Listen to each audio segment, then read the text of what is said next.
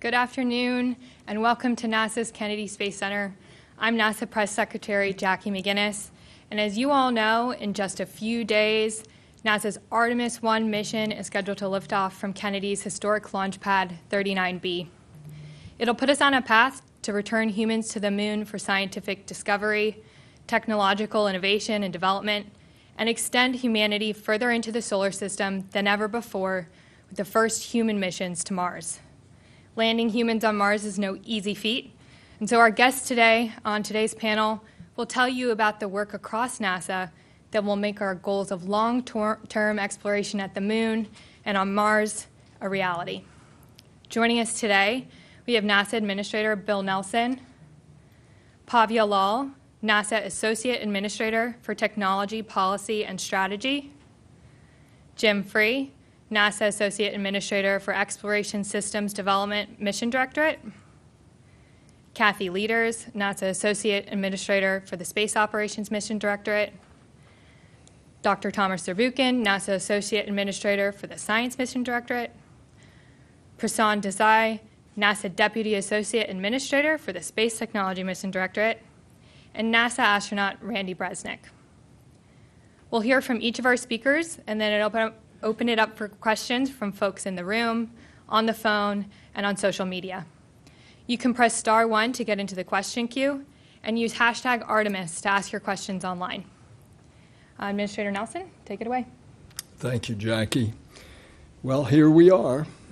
We're going back to the moon, but we're going to live and learn and develop new technologies because we're eventually going to Mars.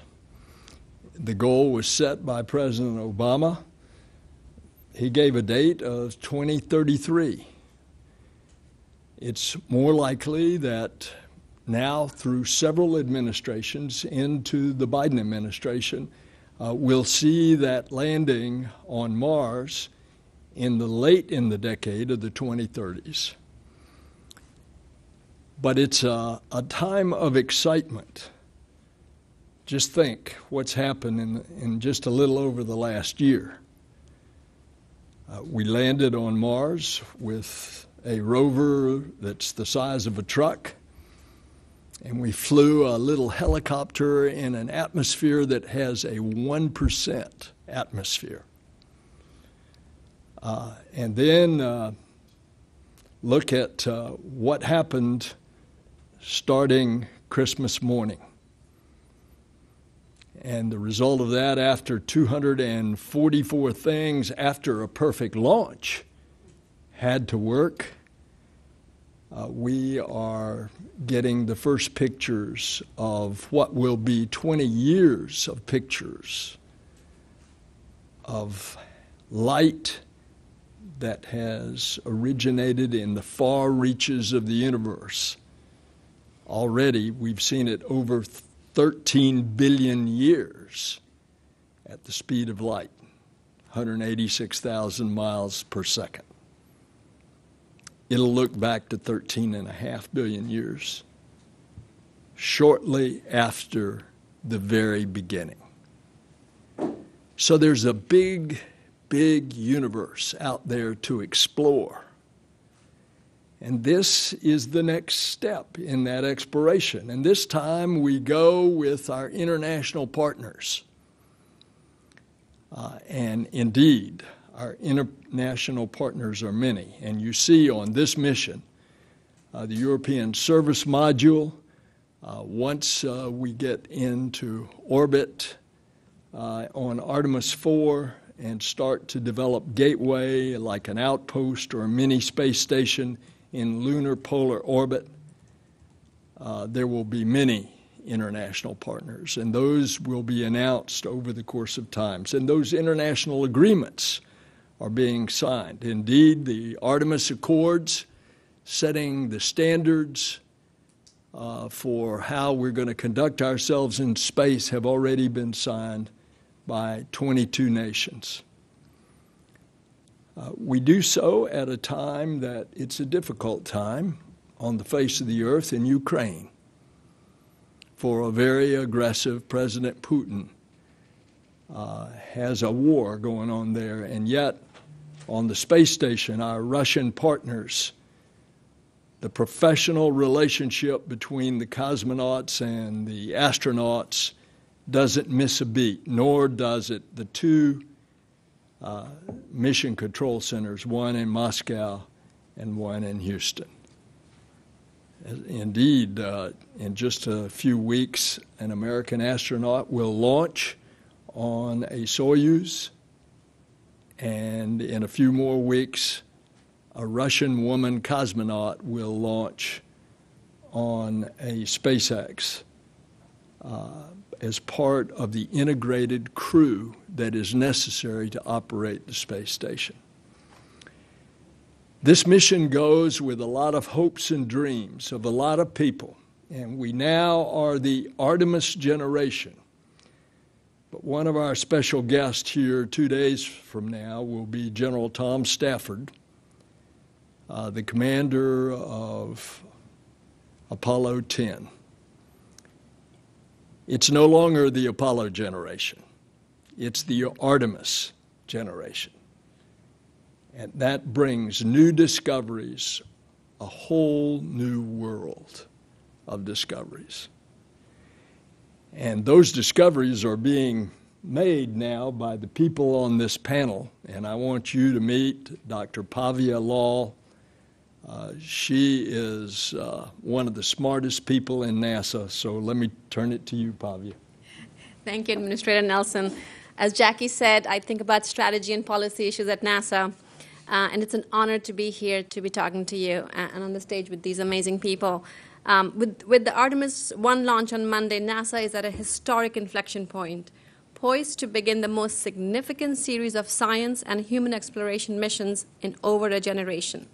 We are making sure that the agency's architecture for human exploration is grounded in a long term strategic vision, that of sustained U.S. presence on the moon, Mars, and throughout the solar system.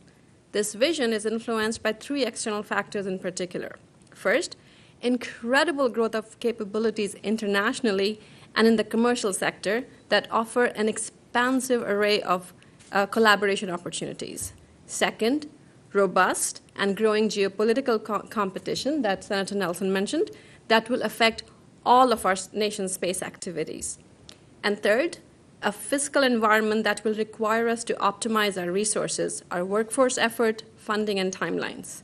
Buoyed by these opportunities, and in discussion with industry and our international partners, NASA is working hard to establish a technically and politically resilient architecture for our long term exploration efforts. The architecture has four interrelated components. The first component is transportation and habitation we would like to develop and demonstrate an integrated system of systems to conduct a campaign of human missions to the moon and Mars, living, working, and conducting science on lunar and Martian surfaces, and a safe return to Earth, of course. I want to point out here that space nuclear propulsion is a key foundational capability of this transportation pillar. Nuclear propulsion will enable not just human missions to Mars, but also scientific missions deep into the solar system. And it would not be an exaggeration to say at all that the ability to develop and use nuclear propulsion safely, securely, and sustainably is vital to maintaining our global U.S. leadership in space. The second component is infrastructure. We would like to create a lunar utilization infrastructure such that U.S. industry and our international partners can maintain a continuous robotic and human presence on the lunar surface for a robust deep space economy without NASA as a sole user while accomplishing Mars testing and science objectives. A third critical component is operations. We would like to conduct human missions on the surface of and around the moon, followed by missions to Mars. Using a gradual built up approach, we would like to demonstrate technologies and operations to live and work on a planetary surface other than Earth. Last and absolutely critical is science.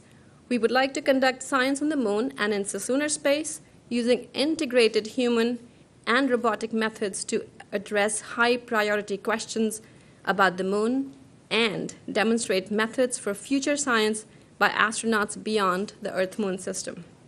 My rock star colleague and Director of Exploration Systems Directorate, Jim Free, can elaborate on how we plan to execute on this architecture. Suffice it to say that through our human exploration efforts, we seek to imagine and create first ever missions and approaches that showcase American ingenuity, pioneer new science and technology, improve long term affordability, reinforce U.S. preeminence, improve life on Earth, and address critical national challenges. Let me end my remarks by saying that what we are starting with the launch Monday is not a near term sprint, but a long term marathon to bring the solar system and beyond into our sphere. I feel privileged to be part of this invigorating vision, and let me hand off to Jim now.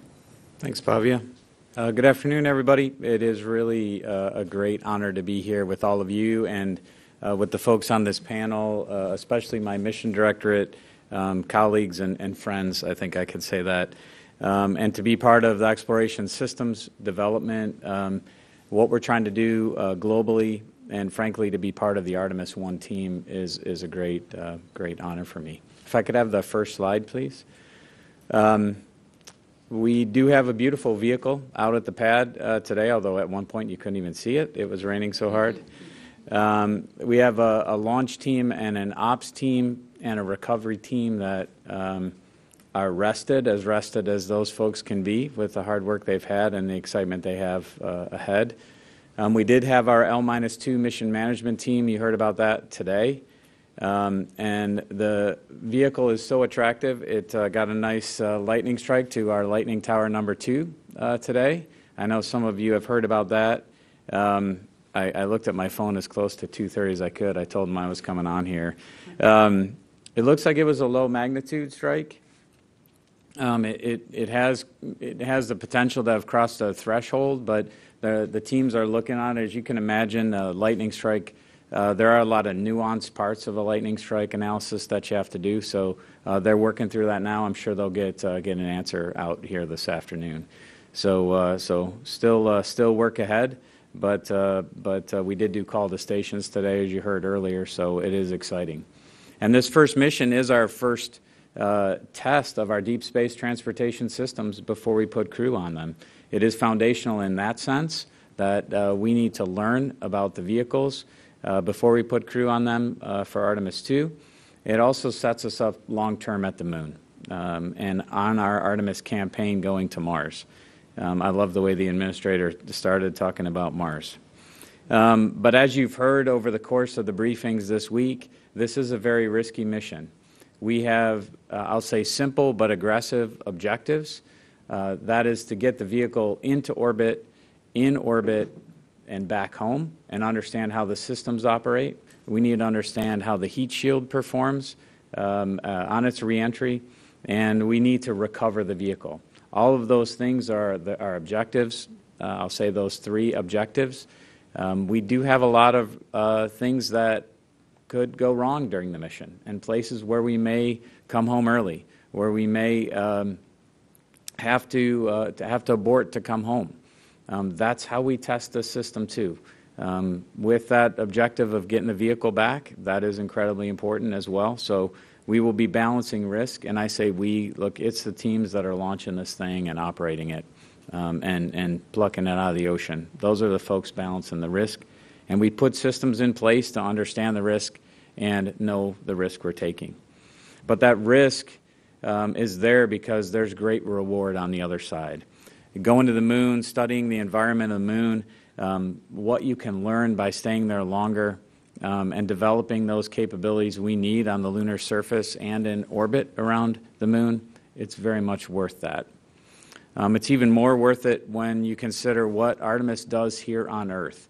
We talk a lot about what's going to happen uh, in the next 42 days, but the tech development, um, the investment in state of the art facilities, advanced manufacturing, um, diverse businesses that can uh, uh, provide uh, components to us, supply chain issues. I think you've heard about that along the way.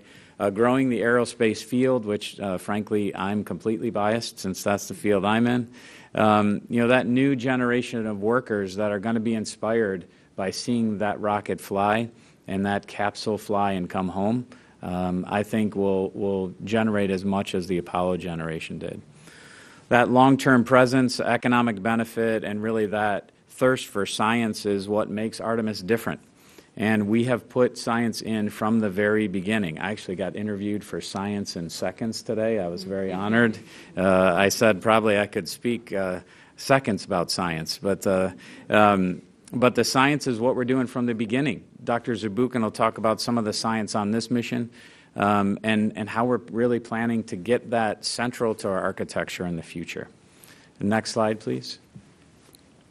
You know, as we develop our architecture, um, sorry, I have to see the slide. Um, as we develop our arch- architecture, as I said, science in mind, right? We're starting with our rocket, our spacecraft, and our ground systems that get us there. Next slide, please. Gateway, our gateway uh, in orbit around the moon has science being built for today by the Science Mission Directorate and our international partners. It's our transfer point, our staging area, the landing system that's going to put boots on the surface for us in development today, the rover that will take the astronauts out to the science sites, both pressurized and unpressurized rovers, the suits that they, they use to navigate through the surface and pick up the samples to bring home. We'll design each of those elements with science in mind. As more science equals more learning about the moon, how it formed, how we can stay long term, and how we move on to Mars. And as we learn about the moon and build out our lunar presence, looking at our systems going for going to Mars, we'll develop capabilities at the moon that will enable those things to happen. We need the transportation, the habitation, the things that Bhavya talked about that we're putting central to our objectives. We're going to be sustainable this time. That doesn't mean we're staying 365 days a year. It means we're going to be able to stay for 30 days and help enable others to stay there while we're not there. But the important part of this is we're going for all humanity and we're going with all humanity. The more nations and companies at the moon, the more we learn, exponentially increasing our knowledge base and capabilities while strengthening things right here on Earth. Our campaign, our Artemis campaign, is encompassing, and we're excited to kick it off with the launch of Artemis 1 and thankful for you all to be here and, uh, and online today. So, with that, let me hand it over to my uh, closest colleague up here, my uh, one that in, um, I'm completely uh, uh, close to here, Kathy Lueders. Thank you, Jim. It's really amazing to be, you know, part of this Artemis team. I'd say everybody here on the dais here is part of our Artemis team, and here representing the broader team that's out there, really getting all this work done. And um, I'm going to jump into my first slide. You know, what's important is this team's been getting ready for a while. You have to really prepare and learn to be able to get ready for for the, the mission that's going to be going off this Monday. And we're preparing for the missions coming up. And so here's a great picture of Kate Rubins. Kate Rubins is at the ESA's Pangea training course in the volcanic area, the Spain's Canary Islands. It's another example of the teamwork that the administrator talked about. Here we're working with the ESA folks on how do we get ready? How do we go figure out how we're going to go establish the procedures and processes to be able to go do the science that Jim talked about. Um, next slide, please. Here's one another one of my favorite pictures because it, it shows not only do we have to figure out how to work on a surface, which is what Kate and the team were doing, but we also have to figure out how to live and work in space because as we're going and doing living around the moon and on the moon, we have to figure out how to work in these different gravitational fields and be able to have processes to be able to take care of the humans that will be doing those missions. And so the International Space Station, like the administrator said before, is a, a place where international teams work together, just like we will need to have international teams working together and operating together in the future. You know, if you see there, there in the pictures, there's my, one of my favorite things as an ex New Mexico person, a hatch chili, and you got to figure out how to have food in space to be able to to be able to live and work for length of time in space. In addition, in the last picture you saw, you know, Scott giving himself his own flu shot, and so that's another thing we're going to have to figure out how to deal and be able to take care of our crew members and all the learning we're doing on the International Space Station right now helps us do that. Next slide.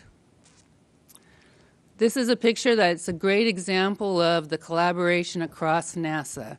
This is us doing our upgrade of our IROSA solar arrays, which were actually started with our space tech brethren over there, and thank you, Prasun, um, because the technology that was developed and is being proven on the International Space Station is also being carried forward into the Gateway. And so it's another place where we're continuing to, as a team, um, develop, mature, and use across the different platforms that we have for us to be able to live and operate in space and do the science for, for Thomas's group over here um, to be able to accomplish the mission that we need to have.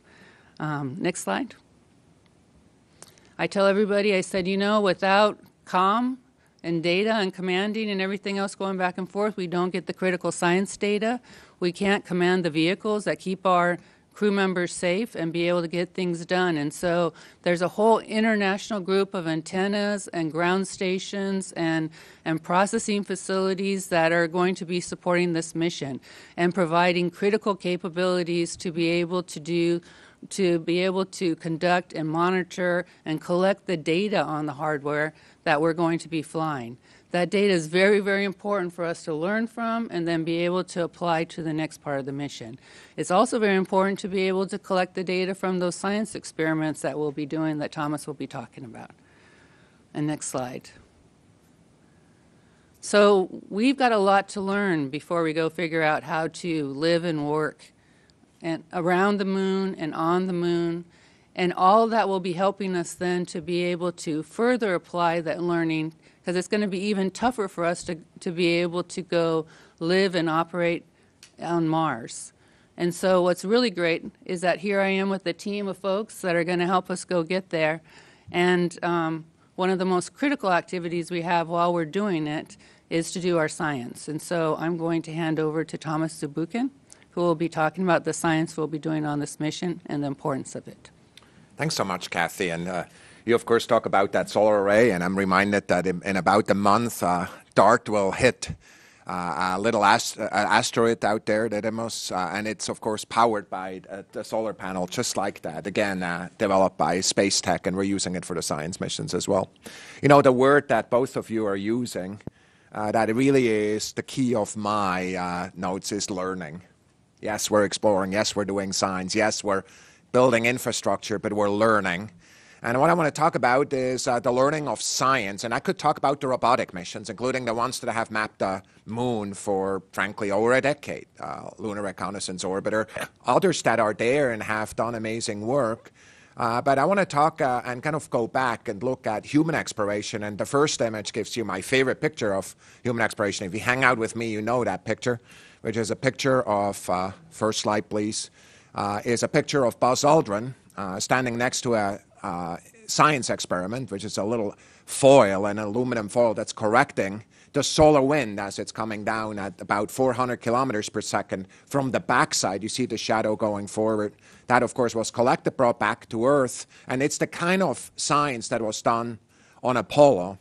Uh, what, uh, what is so important to me, and uh, what the next slide sh shows, is that we're going to a moon that is very different than the moon we left with the Apollo program because science doesn't stand still.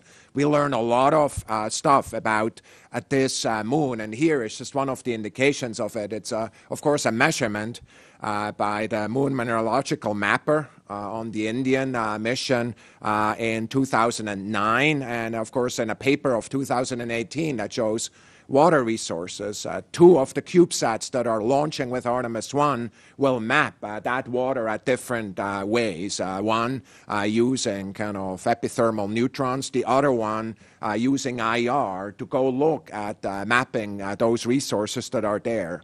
It's those resources, of course, that are really, you know, unexpected, kind of in the picture of the moon that we had in the past. Uh, another uh, element that is so important in the science that is uh, done is uh, indi indicated on the next uh, slide, uh, please.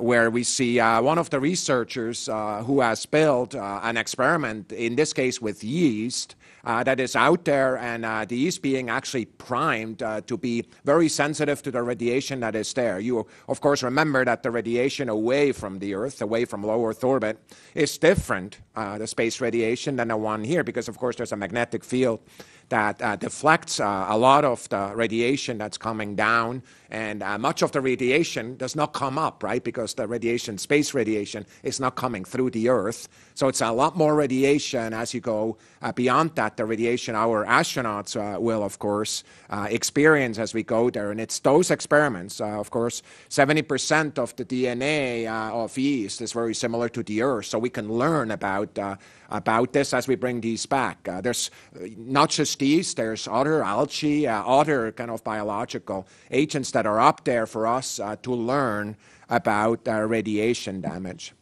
Uh, the most important part, though, is indicated on the next slide, which is the future.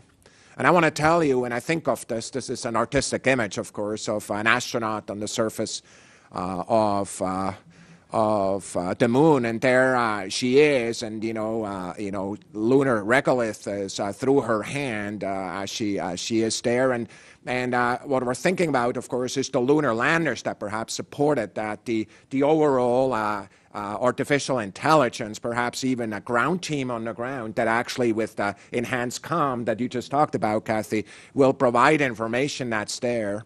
Uh, so you say, well, that's nice, uh, nice fantasies. Uh, no, that's that is what our decadal strategy of planetary science and astrobiology has told us to do.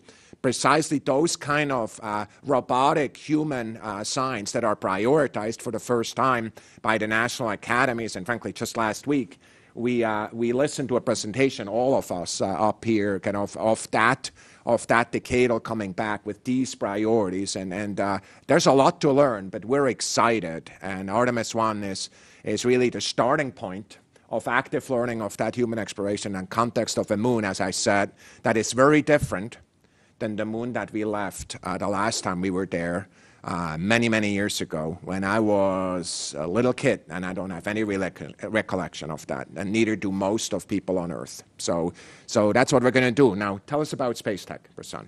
Thanks, Thomas. Um, thanks, Thomas. Um, it is a great honor uh, to be here at the Kennedy Space Center for this historic launch. The Space Technology Mission Director, or Space Tech, uh, as we go by, shares everyone's excitement for this mission, which is kicking off Artemis and many more robotic and human missions to come. We in Space Tech use our portfolio to develop technologies needed to go, land, live, and explore on the moon and Mars in collaboration with industry, academia, and other government agencies. One of these industry collaborations resulted in the technology that will be flying on Monday. Um, first chart, uh, chart please. Um, Pennsylvania and California small businesses, Bally Ribbon Mills, and Advanced Applied Composites San Diego, led by NASA experts, developed a one of a kind, robust, multifunctional material for the spacecraft heat shield. Here you see an image of the uh, equipment uh, weaving that material uh, um, for, for use on um, the Orion space capsule. They worked uh, with STMD to, or, or Space Tech to mature, test, and deliver this woven thermal protection material for Artemis 1. Next image, please. Lockheed Martin used the material for Orion's heat shield compression pads. Here's a close-up look of, of, what that looks like. If you go to the uh, next uh, image, please. Uh, and um, on various locations around the surface of the outside of the aeroshell, as well as to insulate and protect uh, other parts of the spacecraft. These are just two examples of small businesses supporting our next uh, steps in human exploration by implementing new technology. We uh, also will work with industry to support technologies in the areas like excavation, construction, in situ resource utilization, and power for the moon and Mars. This past week, we announced awards for three companies to create prototypes for vertical solar array systems to provide continuous power near the surf- uh, moon's south pole. We're also working on approaches to uh, develop power through ongoing fission surface power collaborations with the Department of Energy. This work will yield modular fission surface power systems designed for the moon, and we also plan for this technology to power our exploration on Mars in the future. Exploring Mars will require additional suite of new technologies. For instance, we recently announced a collaboration with the company Microchip Technology to develop a next generation high performance spaceflight computing processor. This processor will have 100 times the more computational capacity of current spaceflight computers and advanced fault tolerance, enabling the complex computations we need for future Mars missions and other places in the solar system. STMD is fostering uh, technology to get humans to Mars and land on the surface. We're working with industry to mature nuclear propulsion technologies, which could provide the power and the speed we need to get crewed spacecraft to Mars in a shorter time frame. Once we arrive, landing on the order of 20 metric tons on Mars is also a challenge. Uh, can we go to the next image, please? Our LOFTID mission uh, will demonstrate an inflatable aeroshell technology that could help land uh, crewed missions on Mars. It is slated for a launch in beginning of Nove- uh, November for a demonstration here at Earth. We're also demonstrating precision landing technologies like navigation Doppler LiDAR on the moon um, under the Commercial Lunar Payload Services Initiative, or CLPS program. Um, across all our focus areas, CLPS flights will use uh, us, uh, will help us demonstrate the technologies that can be used on the moon as well as Mars. A number of these technologies have already been started to be developed on the Perseverance rover and demonstrated. Uh, precision landing capability when Perseverance landed, and currently, right now on Mars, we're converting the carbon dioxide oxygen from the atmosphere to um, oxygen that we could use for either refueling our spacecraft or breathing for uh, future human uh, crews. Um, in closing, I want to acknowledge and thank every individual, business, and supplier that is helping to make Artemis and beyond a reality.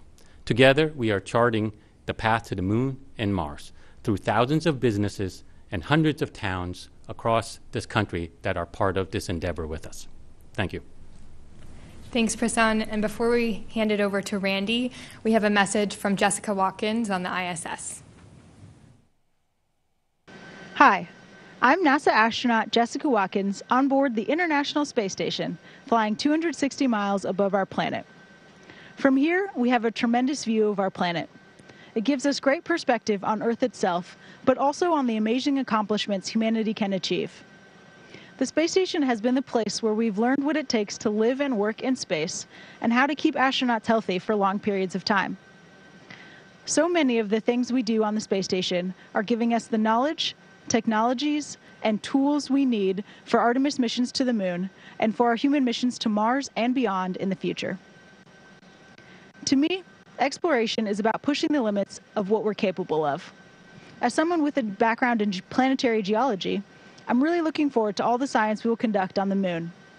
The samples we'll bring back, the knowledge we'll gain from understanding the lunar environment better than we ever have before. I'm also looking forward to the surprises, the things we'll find or learn that we don't know about yet. Our Moon to Mars exploration efforts are for everyone. We'll be watching the Artemis 1 launch from here on the space station along with all of you. Good luck to the Artemis team, the Space Launch System, and the Orion spacecraft. Thanks. And now, Randy, she's teed it up for you. Well, there's a saying uh, in the space business that you never want to be a speaker that follows the astronaut. And, and I'd like to say I have to kind of add to that. You never want to be a speaker following the astronaut that's speaking from space. Um, but as the, you know, representing the implementers and the operators of all the science and exploration efforts you've heard, you know, this distinguished panel of NASA leaders discuss, NASA's Astronaut Corps has been involved every step of the way embedded in the programs and the directorates. We're there to share our spaceflight experience and expertise in the design and development of these spacecraft because ultimately we represent the people and the humans that will be on these vehicles that are going to be making these missions to the moon and then ultimately onto Mars. And so a lot of the progress recently has been on the hardware, and certainly Artemis 1 being an uncrewed flight represents that hardware. Um, but the human presence has been involved along the way because that is the pathfinder for our next mission, which is Artemis 2, which will send humans out beyond low Earth orbit for the first time since 1972. And so everything we're doing with Artemis 1, we're looking at through the lens of what can we prove out and what can we demonstrate that'll buy down risk for the, for the Artemis 2 crewed mission. Certainly, as, as Kathy uh, Lueders mentioned, you know, we're training our crews uh, through uh, earthbound analogs, space analogs, as well as ones that are, you know, taking the ISS, that incredible, you know, space exploration test bed, and using that for analogs as well as testing hardware.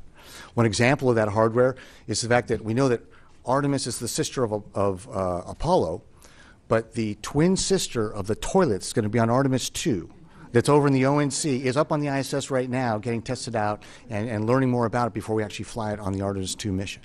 And so that's a you know, great example of that. And so we have an incredibly diverse astronaut office and astronaut corps, you know, in both terms of people and as from their experience. And we're able to harness all those skills and talents and wide variety of them. You know, planetary geologist to military test pilot. You know, that's just one example of you know two people in the office. But we've got astrophysicists, we've got educators, we've got medical doctors, um, we've got engineers, of course, and uh, even. Uh, um, even a, a, veterinarian. And so we were using all those talents to be able to go out and do these exploration missions that uh, are going to be taking place very soon on the moon and ultimately on Mars. So thank you. Thanks, Randy. And now we want to hear from you all. So, for folks in the room, if you have a question, if you could raise your hand. As a reminder, for the folks on the phone, if you could please press star one to get in the queue. And online, if you could use hashtag Artemis. Uh, first up, Marcia Dunn with AP. Um, Marcia Dunn, AP for Mr. Free. Um, I was hoping you could explain the two year lag between Artemis 1 and 2. What's driving that? And if this test flight goes really well, can you push up the next flight and make it sooner than 2024? Yeah, so uh, there's there's a couple. There's just the development of the vehicle. So so the Orion crew module for Artemis 2 has uh, is fully outfitted with all the environmental control and life support systems that we need for the crew. So the uh, the development of that and the integration of it is uh, is complex and is is one of the things that uh, is driving the the uh, time between. The other is we're use, reusing our um, avionics boxes from Artemis 1 on Artemis 2. So we need to get the vehicle back. I talked about our objectives, getting the vehicle back, getting those um, uh, boxes out, and uh, retesting them. We have to send them back to the vendor to retest them, then getting them back and putting them in the crew module, and then putting everything else around it that, uh, that needs to be installed, and uh, getting the vehicle tested and ready to go to be delivered. So, um, and the, the stakes are, are really high for that mission. So we're going to take our time and do it right. Um, so as Artemis 1 has slipped out, that's driven some of the Artemis 2 uh, schedule uh, as well. But those are the three things that, link it. So can we pull, I'm sorry, the second part of your question, can we pull it up sooner? Um, I, think what I'd say is we're going to get through Artemis 1. We're going to learn a lot on Artemis 1. So I, I could not stand up here and say, hey, let's, let's pull it in we, we're going to take some time to go through the data we find on, on Artemis 1 mission. And, you know, worst case is we might have to make a design change. But the best case is we're going to do the right thing to keep the, the, one of the folks down at the end of the table, they're safe when they fly on it. That'll be our, our most important thing. So I don't think we'll pull it in. Thanks, Jim. Lauren Grush with Bloomberg. Hi, Lauren Grush with Bloomberg. Um, it's the first time I'm saying that. um, so, uh, you talked a lot about sustainability. I was wondering if you could be more specific about what sustainability looks like on the moon. Can we say that that is a, a habitat, a base on the lunar surface? Ultimately, how do you envision people living and working on the moon? I'll, start. Anybody else can add in there since I think I said sustainable more than anybody. Um, it, it's really what I said. We we want to we want a uh, an infrastructure on on the moon that we can rely on when when we go. So you talked about habitats. Um, there's other things on there that we need. We need landing pads. We need communication systems. We need distributed power. Um, so it's not really just about hey we're going to go and stay uh, and and set ourselves up for 30 days. It's we want everyone to contribute to it. So commercial entities international partners. So the sustainability is we can go anybody else can go and we can stay for longer durations. That's really how i how i think we look at the sustainable piece. We we can't do it all ourselves. Thanks. People tend to think about the crewed piece of it, which is important, but we also, when we start looking at operating, it's how do you meld the crewed piece of it, and then what Thomas was saying, the uncrewed piece of it in some ways to optimize science and technology development that we are hoping to get done, um, and optimizing the use of the infrastructure up there for our missions and mission purposes. I will also add to that, uh, in space, uh, um, what we'll plan to do is in situ resource utilization as well, to use, live off the land in essence, so we can get a lot of consumables from the environment there in the soil or the water that we believe it's there. Uh, we will use that to create a sustainable future as well. Chris Davenport with Washington Post.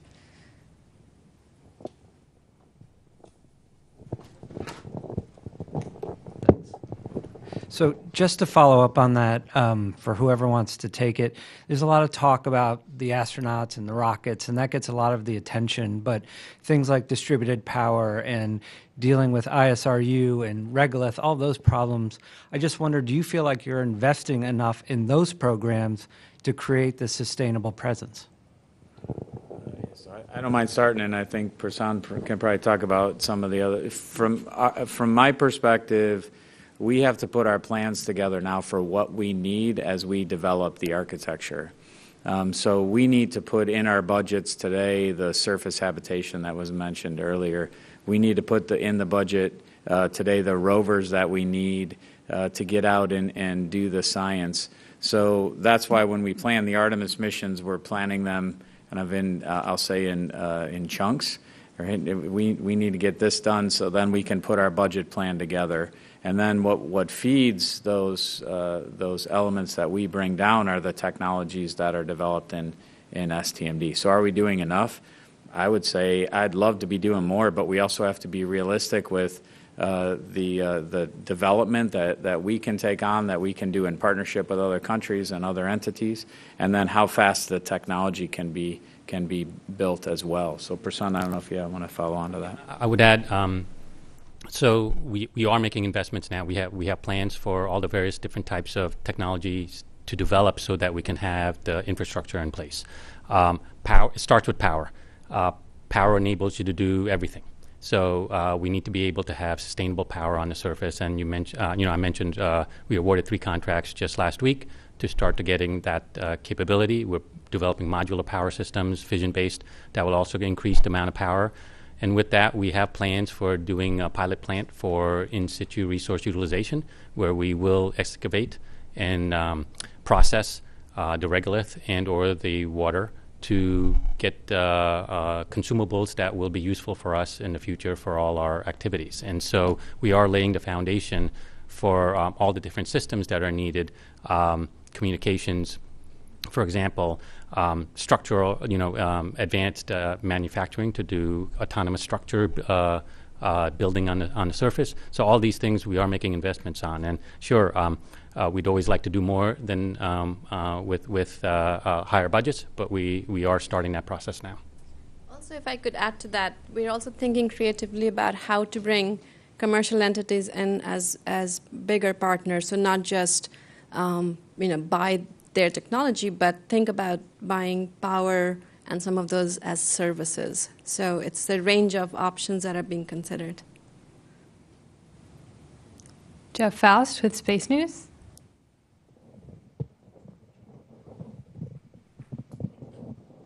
Hi, Jeff Faust, Space News. Question for the administrator. Uh, when you were in the Senate, you helped craft the NASA Authorization Act of 2010 that directed NASA to develop the SLS that's now sitting on the pad at 39B. Um, that bill directed NASA to develop it by 2017, and it's now 2022. From your perspective, you know, what sort of lessons can NASA take away from that extended development of SLS um, and apply them to future elements of this Moon to Mars architecture so we don't see similar delays in the future? That legislation, now law, also directed the development of the commercial activities in space. And we have seen the uh, extraordinary successful uh, commercial crew, uh, commercial uh, cargo to orbit under uh, Kathy's leadership. Uh, and the combination is what has been described to you today. Now, your essential question is what do you do to stop there being cost overruns and overruns on time? Uh, I would simply say to you that space is hard, and you are developing new systems and new technologies, and uh, it takes money and it takes time. Uh, need you look any further than the extraordinary instrument we have uh, a million miles from Earth, now taking pictures of the universe, looking back in time. So, uh, what we are doing in the future to try to stop some of these cost overruns, we are simplifying the system. We are taking, for example, 16 contracts and combining them into one so that we have one area that uh, one contractor that is responsible for all the subs. We're implementing a program office for Moon to Mars so that we can have better coordination there. Uh, we're trying to do all of these things and at the same time do space. Uh, and uh, the proof will be in the pudding. Uh, but right now, uh, we're on the cusp of something that is pretty great. And it's been described to you uh, from this panel, uh, and you have been seeing it out there, and the hopes and dreams are on that pad, 39B, right now. Next, we're going to take a question from the phone. Christopher Kokonos from Astronomy Magazine. Yes, hi. Thank you very much, and good luck um, on the launch. Uh, I do want to ask uh, Administrator Nelson a, question from sort of the devil's advocate or uh, critical side, and that has to do with the cadence of Artemis. And as you all know, Apollo had many, many more test flights of the Saturns and the different modules before even attempting a landing. And Artemis's cadence is much faster before landing in a rugged and thermally challenging polar environment. So I'm just wondering if the administrator can answer back uh, to those who think Artemis cannot or should not move this fast and try to land on the third mission. What do you say to those who think the, the Artemis cadence is, is maybe too aggressive? Thank you and good luck. Thank you. It's two different times. That was 50 years ago. Look at the advance of technology. Uh, I have ultimate trust in these people up here to know exactly when we should launch, and that's why this is a test flight. And as Jim Free said, this thing's going to be stressed and tested uh, in a way that we wouldn't put humans on this. That's the whole purpose of the test flight. He has three main objectives, one of which you can't test in a lab you have to bring it back hot and fast to see if that heat shield is going to do what it's designed to do. Uh, and uh, so that's the difference of 50 years of technology and techniques and uh, computing and all the advances that go into this. But when you get right down to it, space flight is risky business. Uh, and we accept the risk because there is great reward. To do less is to deny ourselves and our identity as the American, the American character. Irene Klotz with Aviation Week. Thanks. Thank you. Um, for Senator Nelson and anybody else who might want to chime in, um, what do you think at this point is the pacing item to get astronauts to Mars in the next 15 to 18 years? Uh, the timetable was set by President Obama. He said 2033.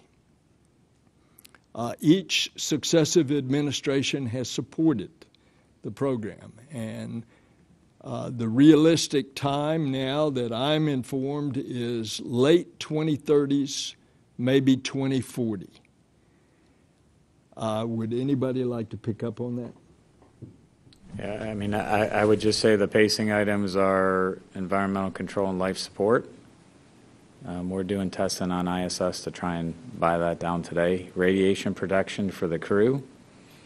Um, obviously, the, the effects are a lot different, uh, as has been said, outside of uh, low Earth orbit. And uh, an entry, descent, and landing. Um, I mean, we, we've landed, I'm, I'm probably going to wrong, you know, one metric ton, and, and we have to land like 15 to 20 to get humans down there. So, and those tests are much like things we are, are we can do them back on Earth, like LOFTID that Prasun talked about, but that technology has to be developed. And I haven't even mentioned propulsion yet, but because um, everybody, you know, that is the kind of everybody jumps to propulsion, but the three things I mentioned have to be solved as well. So to me, those are the pacing items. Um, a lot of that work is happening uh, on ISS today with, with, with funding out of our organization. Um, uh, for the life support system, there's radiation protection uh, things going on, entry, descent, and landing. So those investments are starting now. But to me, those are the three that I would highlight outside of propulsion.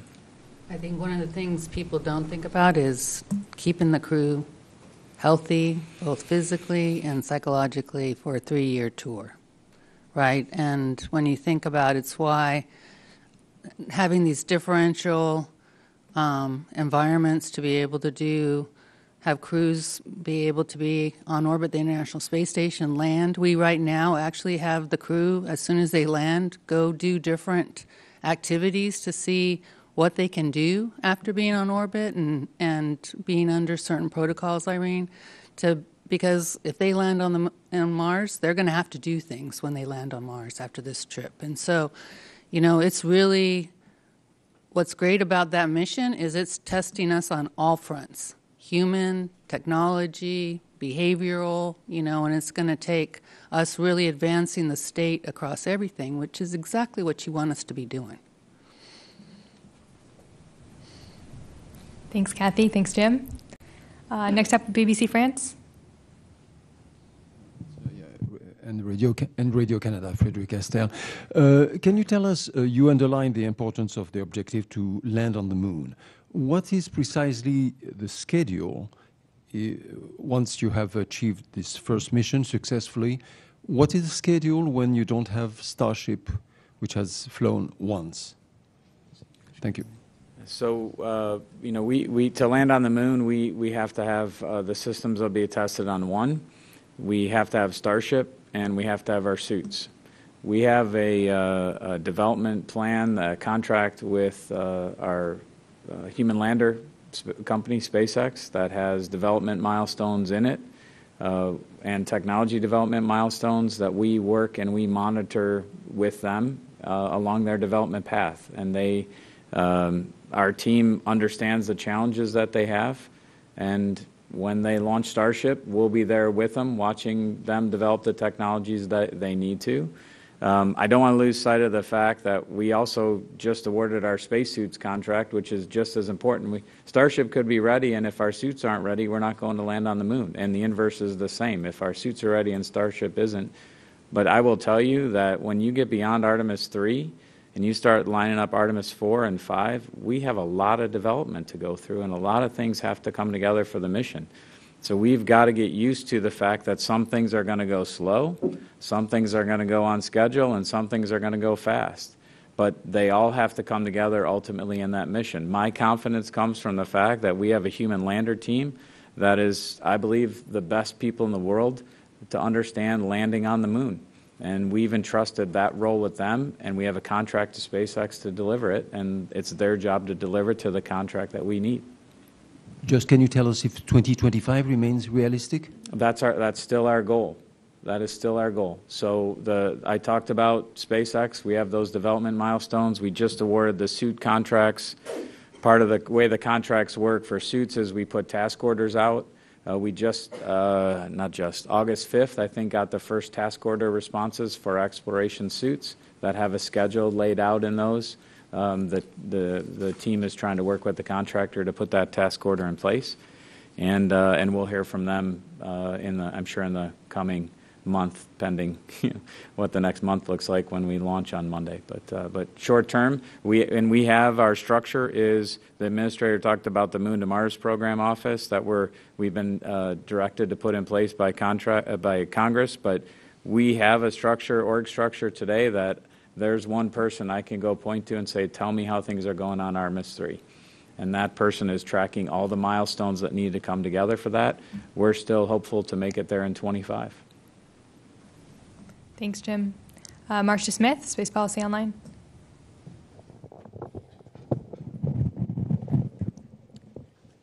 Hi, my question is for Mr. Nelson and Bhavya.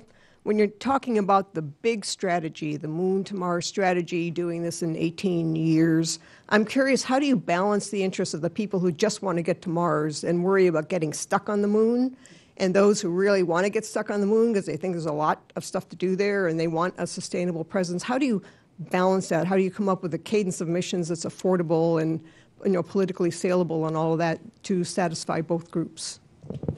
Go ahead, start. So um, uh, that's an awesome question, and, and that has been the tension throughout. And in fact, that's one reason we've kind of gone you know, from moon to Mars to moon. Uh, and this administration obviously supported um, the continu- you know, continuity of, of staying on, on course. I think what we have done is, and we are continuing to do, work with our industry partners, the international partners, to develop a series of objectives. In fact, about 50, and, and it's under, you know, it's under uh, development and, and, and, and fine tuning. And those objectives uh, emphasize both Moon and Mars as, as, as targets. Uh, they are well integrated and they demonstrate how doing certain things on Moon help us get that extensibility to Mars. And, and that's kind of how we are striking that balance. Uh, it is never uh, Moon or Mars, it has to be Moon on the way to Mars. Uh, Mars is the horizon goal. NASA's goal is to continue to push the horizons, and, and Mars is the horizon goal. I, I don't know, Senator Nelson, if you'd like to add, or Jim? And, and that's the legacy of the Biden administration.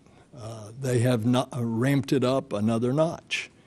It's not just to the moon, it's to the moon, then to Mars. And um, that's what has been explained to you today, uh, and that's how we're going to continue.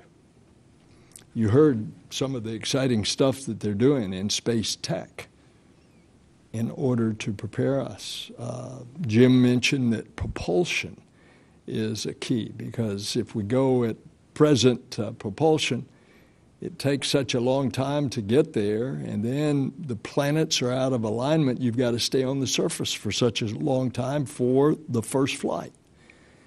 Uh, you get a faster propulsion, you can go there, stay a few weeks, and come back. So all of this is working together. Like a practical necessity to going to the moon uh, before Mars.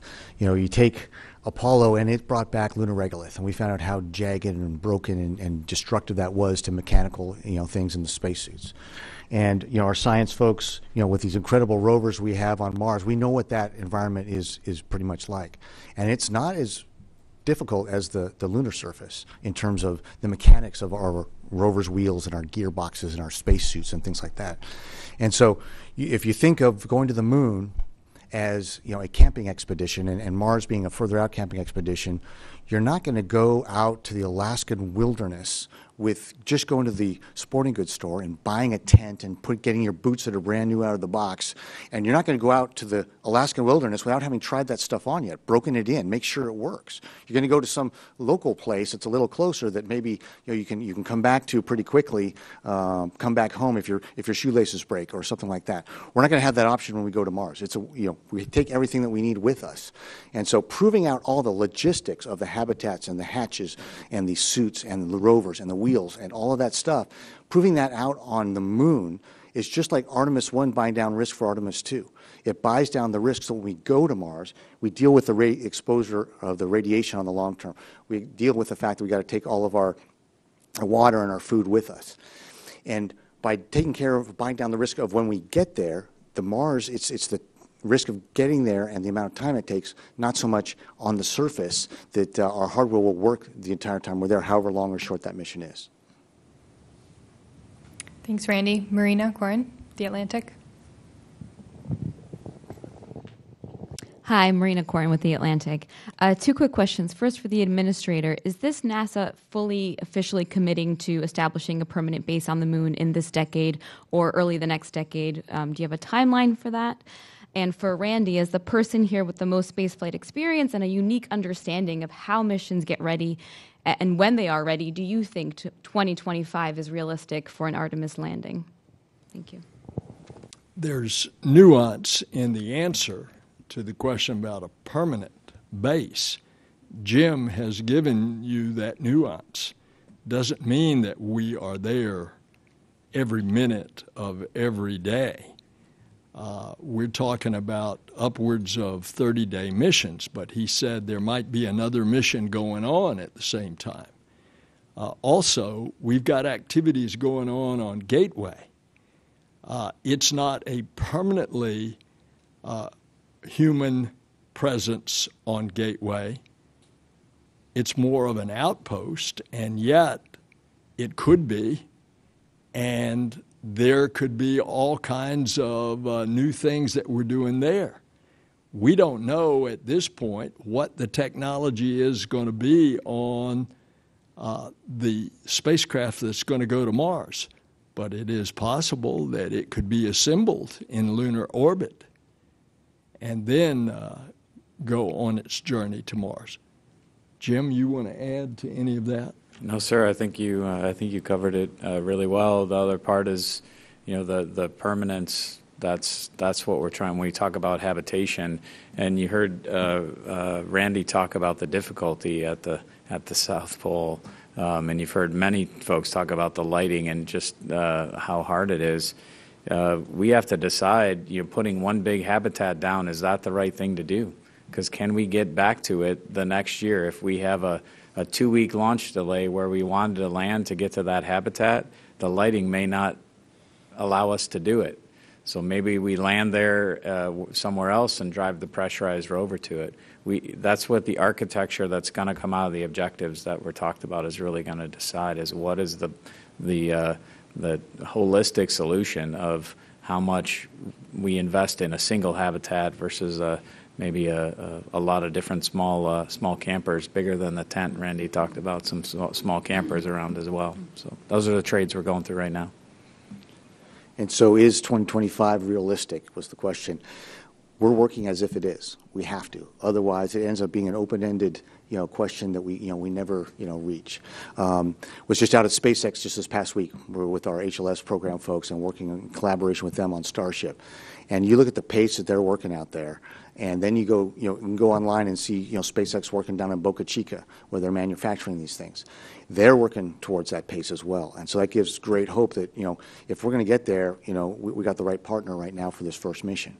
You know, we'll find out more in the next coming months because we just assigned that suit contract. And as, you know, Jim Free said, the suits and, and the Starship, the lunar lander, all go hand in hand. We can't have one without the other. So we'll get more clarity in the next few months how quickly our suits are going to be able to come up. But back to the earlier question about what's the difference between Apollo and now, back during Apollo, they didn't know they could do it. Everything they did was new. And we you know, built every flight, and you didn't know if you had to modify the next flight because everything that was being proven on that flight, you, you didn't know if it was possible. With Artemis, we have the benefit of the technology and experience since then, and we know we can do it. We just now have to find the right people to build it, design it, and then ultimately go out and fly it. Thanks, Randy. Hand it over to Thalia from the digital team to take a question from online. Hey, thanks so much. I've got a question from Twitter. We've already discussed how research in low Earth orbit has prepared us for lunar human missions. Can you explain how lunar research on the moon will prepare us for sending astronauts to Mars? I mean, I'll, I, will I'll take the first shot and then have Kathy weigh in. I think first is um, we learned a lot on on early shuttle flights and on ISS about microgravity and its effect on our systems. Um, now, uh, and, and things we, we spent years testing on the ground and then launched, and they had issues when they got to orbit. Um, we're going to take advantage of the partial gravity on the moon to test out some, uh, uh, systems so that we know how systems on the surface of Mars in that partial gravity act as well. So to me, that's that's the big theme that we need to get to, Kathy. I think the other thing is um, working as an integrated system. You know, working between a lunar orbiting platform and missions on the ground, along with rovers during both uncrewed and crewed portions of the mission, um, working the communication networks that support that, integrating with power and distribution systems. You know, we have not operated, and it goes back to the same thing that Randy said, we have not operated at that level with that three day delay, you know, and us getting ready to operate like that then also gets us ready to be able to figure out what are the key aspects of, of how that operation needs to work to get ready for then applying that when we go to Mars. Um, it's, it's really, you know, we assembled a space station in LEO, but, and it was, it, we learned a lot from that.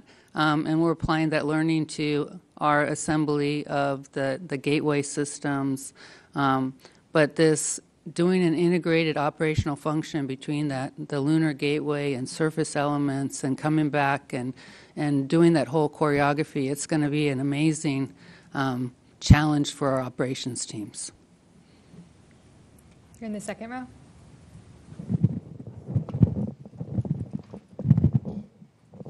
Nicole Mortillaro, uh, the Canadian Broadcasting Corporation.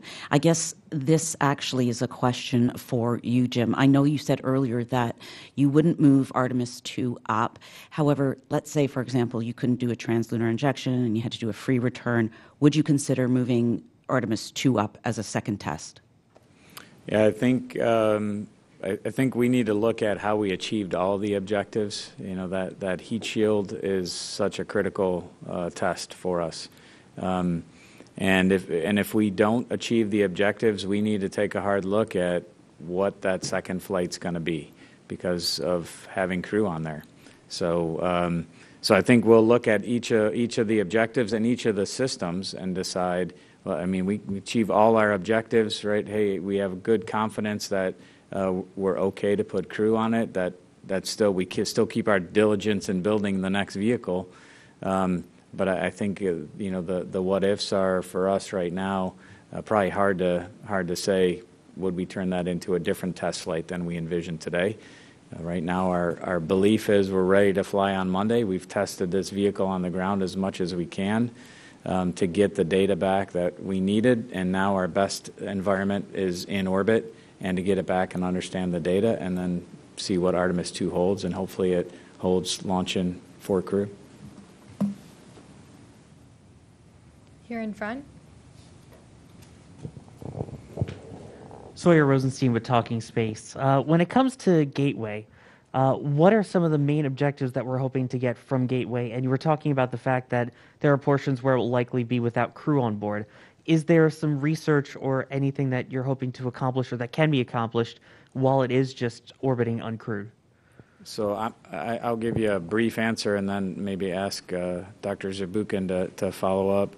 Um, you know, the, the, advantage of Gateway is its position in the near rectilinear halo orbit, um, that we can access uh, almost all of the lunar surface, um, and we have cons- uh, a constant communication back with Earth. So it, it allows us to get to any place we'd really like to go and always be able to talk to it. When, it, when it's without crew, I'm sure we're still going to be running systems, so we're going to get runtime on our systems and get some understanding there. But let me have Thomas talk about the science side of it. So the way we think about uh, gateway is both by looking at the outside of the gateway, but also the inside of the gateway. Both are research platforms, just like on the space station. We have on the inside of uh, the space station amazing work going on by astronauts and some of the stuff remotely controlled from from the ground, and then also on the outside. So on the outside, uh, we're going to launch uh, some of one of the systems with actually uh, hardware already science instruments already mounted to it, and it's going to be focused on radiation.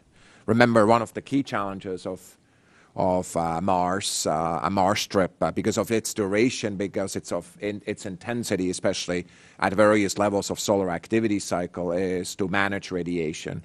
So what we're going to do there is not only make measurements, but also develop software that help us kind of assimilate measurements from that uh, uh, platform into that forecasting system.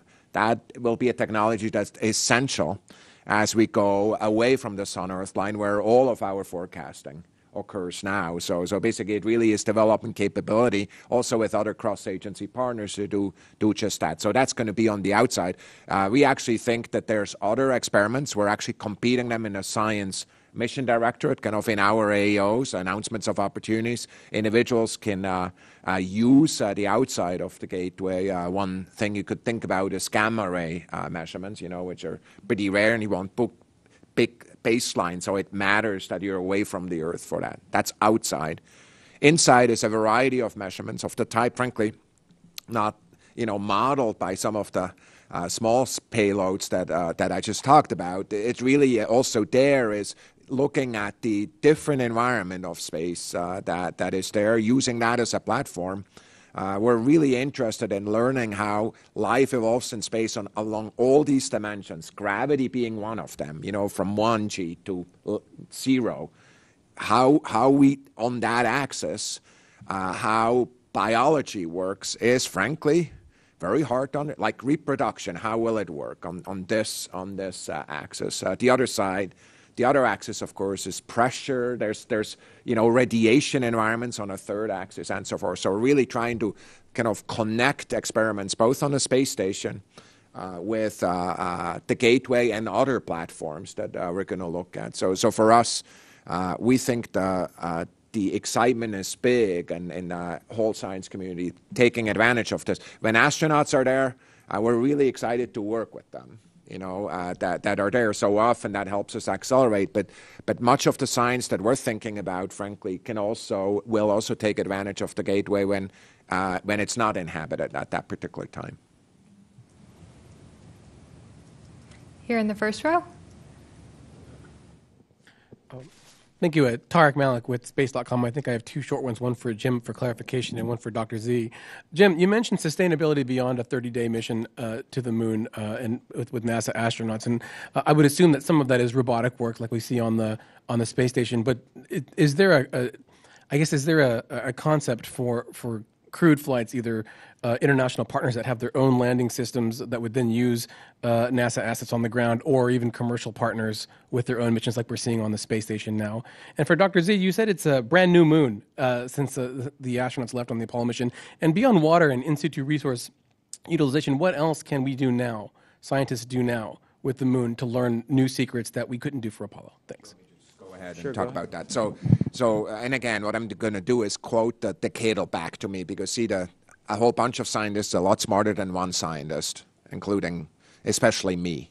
So, so, uh, so what they're talking about. Uh, there is uh, talk about the volatiles, but also talked about uh, the modern models of uh, solar system evolution that uh, that have some kind of open issues and things that are floating relative to the timing of a phase in a solar system evolution we consider really important, where large planets migrated, which led to a big, great bombardment, as we as we call it. At the timing of that, uh, the kind of in in time is is embedded on the far side of the moon. That's where it's the right place to go go look at that. I think the the other thing I want to talk about is some of the processes that relate to uh, what we call space weathering. So it's, it's not the same as space weather from the sun with storms and so forth. It's the series of interactions, both chemical and physical, that, sh- that shape surfaces and let them uh, uh, kind of evolve in different ways. That's a lot more important now because we're looking at all these planets that are elsewhere and have their different uh, their different kind of radiation kind of environments and, and frankly we believe the processes can be investigated best at the surface uh, of of the moon. Needless to say, also that uh, in the decadal. Back to you now for your question. So don't follow an astronaut or a scientist. Uh, two lessons for everybody today. Um, yeah, that's exactly what I was referring to. Is our hope is that through the objectives that um, uh, the senator and Bhavya have talked about, uh, that we can can build. Uh, infrastructure and things on the moon for other people to use. That's we, we had objectives workshops um, both uh, with industry and academia here in the U.S., and then we had an international one where we brought everyone together to talk about objectives. so that we can uh, lay out a plan where other people can use the things that we have capability, uh, uh, that we've built and our capabilities, and we can take advantage perhaps of other countries or entities on the moon to further our missions um, and make them more scientific rich or, or uh, more expansive of the lunar surface.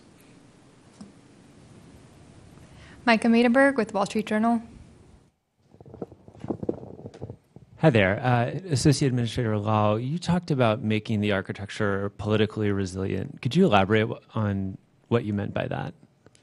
Uh, yeah, I mean it's a it's a simple simple explanation. Something that just doesn't go you know 180 every time the an administration changes, or something that is not solely driven by political considerations. So we just want stability in our space program. We want something that we continue to make progress and not just go back and forth. I think that's that's what I meant. But if Senator Nelson or Jim, if you would like to elaborate further, And I think that's what you've seen and what we've talked about. For example, the Moon to Mars program. Uh, it was accelerated by President Obama. He set the goal of Mars. That has continued through every administration since.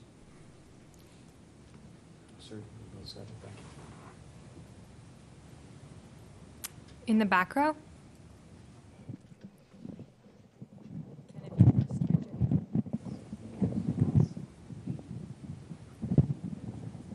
Hi, Ken Kremer, Space Up Close. Thank you for doing this and good luck tomorrow. I want to ask about Artemis 2. It was mentioned also at the previous briefing, it's just going to be a lunar flyby. Why, why is that? Why don't you go more bolder? Why don't you go into orbit? Apollo 8, first mission to the moon, went into lunar orbit.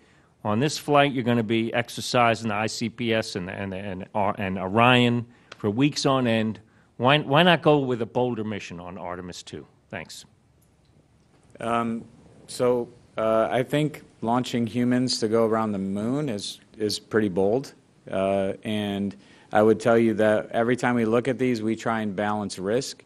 So the free return trajectory for Artemis 2 is how we balance risk. So you know when we come off ICPS on Artemis 2, we're going to uh, fly around ICPS, really understand the handling qualities for uh, the uh, operators, the astronauts. Um, and and from our perspective, that uh, that is risky. Um, four people in a new vehicle with a new ECLSS system is risky. Um, having the opportunity to get them home without absolutely needing the propulsion system and allowing for that failure, um, that's the free return trajectory. So for us, it's all about balance and risk. So when we add up all the risk on that mission, um, and we talk about objectives for that. Our first objective is going to be getting them back. And with the changes we have in that in that Artemis 2 vehicle, we believe that the the the safest, while still having a lot of risk in the mission, the safest is to do the free return trajectory. I add that? You know, just last month we celebrated the 50th anniversary of Apollo 16, and it was an event where Charlie Duke, you know, got up and said he thought the Apollo 8 mission that was the boldest decision that NASA has ever done, and you know even everything since then. And when you think about what Apollo 8 was, it was the flight after Apollo 7, where they actually put crew in the vehicle and flew it in low Earth orbit, and then they went to the boldly around the moon, which we had never done. Well, you think of Artemis 2, it's Apollo 7 and 8 combined. You know, we will have not have ever put vehicle people in the vehicle, as, as Jim was saying, and so that's why we're doing the high Earth orbit to check out those environmental and life control uh, system uh, check them out during that first 24 hours to make sure that we can do that TLI burn and commit ourselves to the moon. But it's that's you know I think that's pretty darn bold if it's Apollo 7, 8 combined, and then we look at Artemis 3, which is going to be the combination of Apollo 9, 10, and 11 all in one flight. So NASA's going pretty bold, just figuring out where we put that risk. Here in the second row.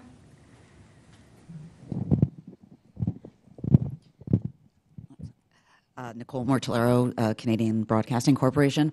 We did touch on uh, Lunar Gateway, and I wanted to ask if you could, uh, Jim or whoever could talk about your international partners and how it will be built, for example, with the Canadarm 3.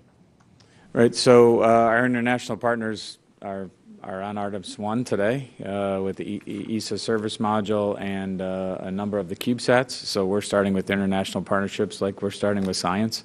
Um, So Gateway is, the- the international partnerships there are truly incredible. The the ARM, which will help us, uh, much like uh, the ARM on ISS has evolved to help us with uh, operations. We were talking before this, uh, Randy shared about the AI interfaces that are going to be used for the ARM, um, which really expand our capability when we don't have crews present.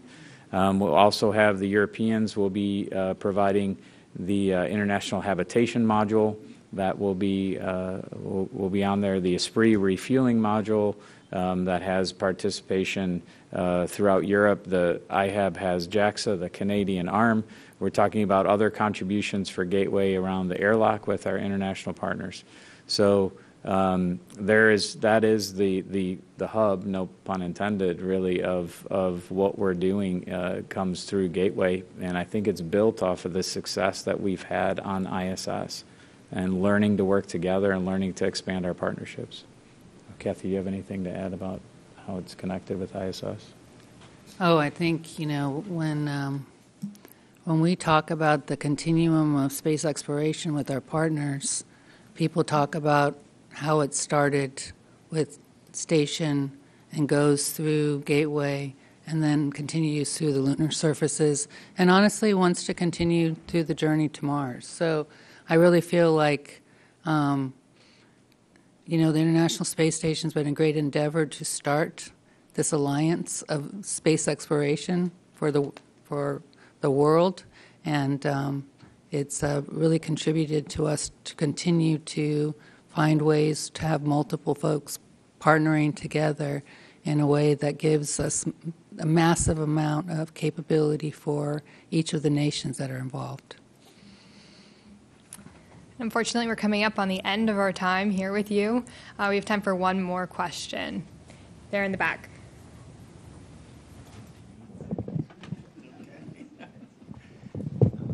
All right, this question is for the administrator and also for um, Randy. Uh, Apollo was uh, uh, kind of short compared to 30 years of shuttle, compared to this, which is, I know Mars, Moon to Mars is your office, but once you get there, at what point is this a new era, and to what degree does this go out? And once you conquer Mars, what does that open up for you? And really, for the astronaut corps, I want to know what is the approach of your of the corps to potentially going on these missions that might be the moon is you're there and back. And mars is much longer. So i'd like to know has anybody thought about that spoken about that? And those are my questions. Thank you.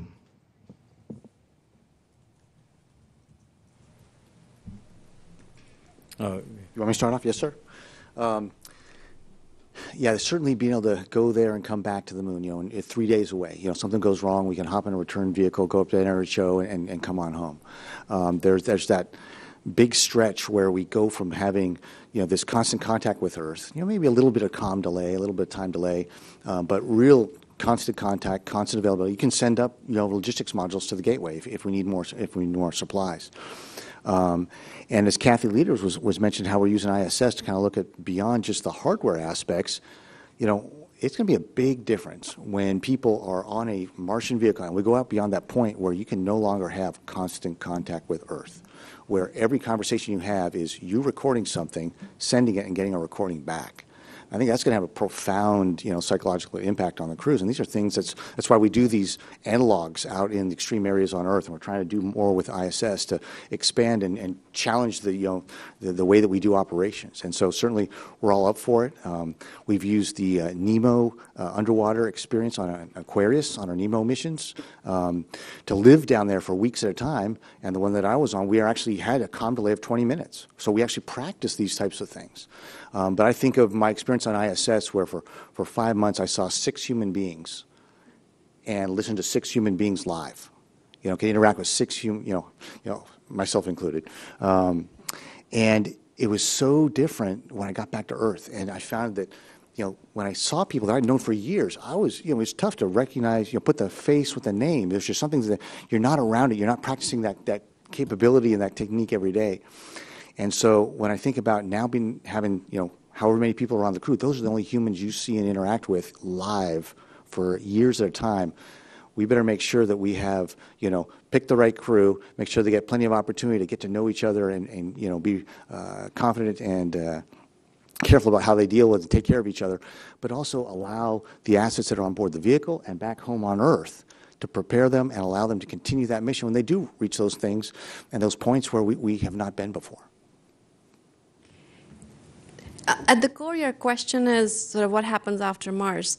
And, and, and at the very highest level, our goal isn't just to go visit a place, right? It's to bring the solar system and beyond into our, into our economic realm, right? And that isn't just something NASA does. Obviously, NASA is a leader there and we think about it but you know all the people in the room all the people watching i mean the entire global space community the all of humanity thinks about this right? So so it's in a way it's sort of saying you know what happened after the lewis and clark expedition? Well there was so much that happened after that right? So in the, it, this it's sort of the same analogy. Obviously it's harder. Um, you know we don't have the same sorts of resources but but we have even more resources. And and we think about it at nasa on a daily basis. I know there's those in the space community that think about it. You know, we want to learn to live off the land. We want to learn to live off the land, land for the long term. And those are the sorts of things that we want to do after, after Mars. Pretty incredible. Um, we're actually going to just do one more. Sorry, Jim, right in front. Thank you for taking my question. Uh, Jim Siegel, I'm with uh, NASATech.net. Um, I wanted to go back to uh, the comment that Senator Nelson mentioned at the at the outset um, about going to Mars and going to the moon. Uh, I find it pretty easy to to describe to my readers why we're at the International Space Station, all the benefits, the hundreds and hundreds of benefits that we have gained as a society, not just as, as astronauts. Uh, but I'm having a little trouble doing the same thing for why are we going to Mars, for example. I've heard that uh, Mars has a lot of helium 3 and that can solve the energy crisis and, and so on. But um, without being esoteric about this, without saying, well, it's because uh, Americans are leaders and kind of all of that, what would you tell the average Americans who might be sitting here right now? Why are we going to Mars? Why are we going to the moon? This is what I would tell them. First of all, we are explorers and adventurers as a species. That basically is the fulfillment of our destiny. Uh, but in that exploration, we're going to learn new things and develop new things that is going to improve, just as it's been under our space program, our lives here on Earth. Last week, I was in Kansas. I was with a corn farmer where we are giving him real time information on the moisture content of the soil in this crop and next to it, that crop, so that he knows what to plant. Those instruments, obviously, for example, can pick up disease uh, and pick up disease in uh, forest which then becomes susceptible to fire. That certainly is going to help our uh, life here on Earth. And those are things that have come out of the space program, things that we can't even think of. But there's more. When we go to Mars in the late 30s, just think how much more we're going to understand about our solar system and about the universe as a result of things like many of our instruments out there, not in the least of which is the James Webb Space Telescope. Uh, we may have, uh, by that time, found an asteroid uh, that we don't have to protect Earth on, as we're going to try with DART in another month. but we may have found an asteroid that has valuable material on it, metals, that we could harvest. By 2040, we may have detected life elsewhere in the universe. And think what that's going to do in our yearning for exploration. So I can't answer specifically the question, what happens after Mars? I just know that we're going to know a lot more between now and then. And uh, our discoveries and our exploration are going to continue. And the apt uh, analogy was given by Bhavya. When Thomas Jefferson sent Lewis and Clark all the way the Pacific coast, look what happened as a result of that exploration. And we are the beneficiaries of that today. If I could add one more thing to that, completely 100% um, adding to what Senator Nelson said, soft power benefits, right? I mean, we are not going alone. Jim, Thomas, everyone talked about, you know, we are going as a global alliance and and the, the soft power benefits of our space program are really incalculable and priceless, and just so important as we move forward, um, you know, in a in a you know in a competitive environment in the world. I want to thank you all for your time and your great questions. I think we're all buzzing a bit with excitement. I'm personally wearing green for go, uh, but before we launch, we have some great coverage for you. Tune into NASA TV tomorrow for a countdown pre launch status briefing at 9 a.m. Eastern. And then coverage begins at midnight tomorrow night with tanking and will be live on our launch broadcast at 6:30 a.m. bright and early on Monday morning. So thank you again and go Artemis.